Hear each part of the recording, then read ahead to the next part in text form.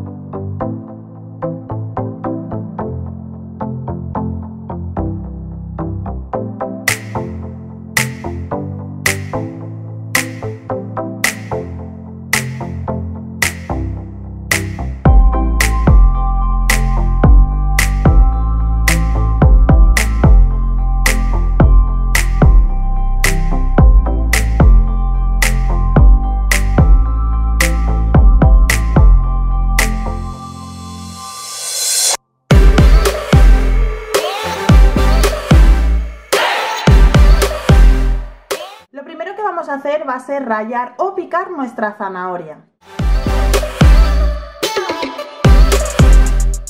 Lo cerramos y como veis ya la tendríamos completamente picadita. Ahora lo que vamos a hacer va a ser reservarla. Ahora vamos a mezclar el resto de los ingredientes. Yo en este caso voy a utilizar un vaso batidor, pero vosotras podéis utilizar una jarra y la batidora convencional. Vamos a añadir la canela el aceite de oliva virgen extra, la harina, los huevos, una cucharada de canela y los yogures. Y por supuesto que casi se nos olvida la levadura en polvo o el polvo de hornear.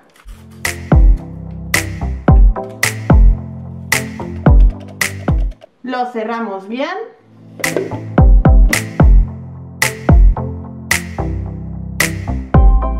Ya tenemos nuestra masa, así que ahora lo único que tenemos que hacer es añadirle la zanahoria que hemos picado previamente.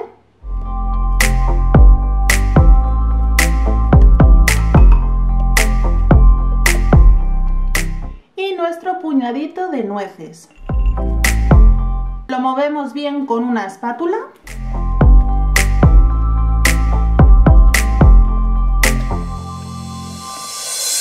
Y ya lo tenemos listo para ponerlo en el molde que hayamos elegido.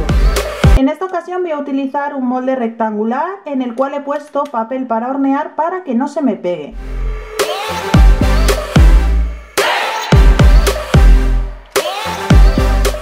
Y ahora lo único que tenemos que hacer es meterlo en el horno el cual hemos precalentado durante 10 minutos a 180 grados.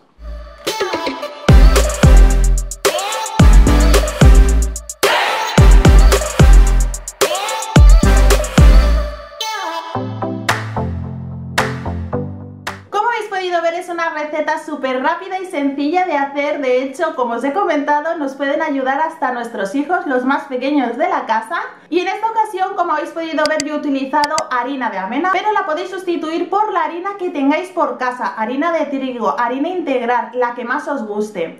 Así que nada, espero que os animéis a hacerla. Si es así, recordad etiquetarme para que os pueda ver. Y hasta aquí el vídeo de hoy. Espero que os haya gustado. Si es así, dadme un like, suscribiros al canal y compartir este vídeo que así me ayudáis muchísimo. Nos vemos en el próximo vídeo.